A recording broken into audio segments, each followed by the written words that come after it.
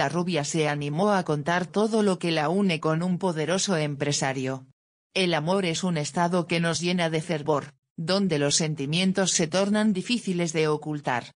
Las emociones positivas brotan por nuestro cuerpo, y nos delatan de manera inconsciente por más que intentemos negarlo. Este es el caso de Pia Slavka, quien optó por sincerarse y ahondar en su vida privada sin tapujos.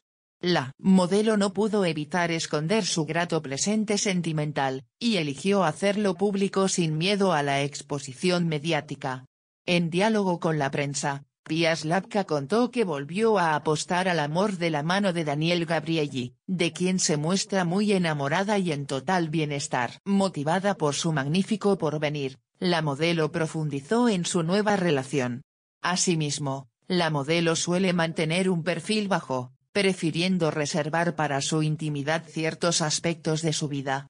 Sin embargo en esta ocasión, la rubia se despojó de su personaje hermético y se animó a abrir su corazón. Desde sus añoradas vacaciones en las tierras uruguayas junto a su novio Daniel Gabrielli, Pia Slavka blanqueó su vínculo y contó, públicamente, su felicidad por este flechazo de Cupido. Sin pelos en la lengua, la rubia confirmó que se encuentra muy enamorada. Cabe mencionar, que esta es la primera vez que la presentadora se muestra junto a un compañero, luego de finalizar su vínculo amoroso con quien estuvo en una relación durante 17 años. Tras aquella dolorosa ruptura, la modelo hoy se permite experimentar un nuevo romance. Estoy muy bien. Súper enamorada. Estoy hasta las manos de amor, expresó Pia dejando en claro que el accionista de un icónico bar en el hipódromo de San Isidro le robó por completo su corazón.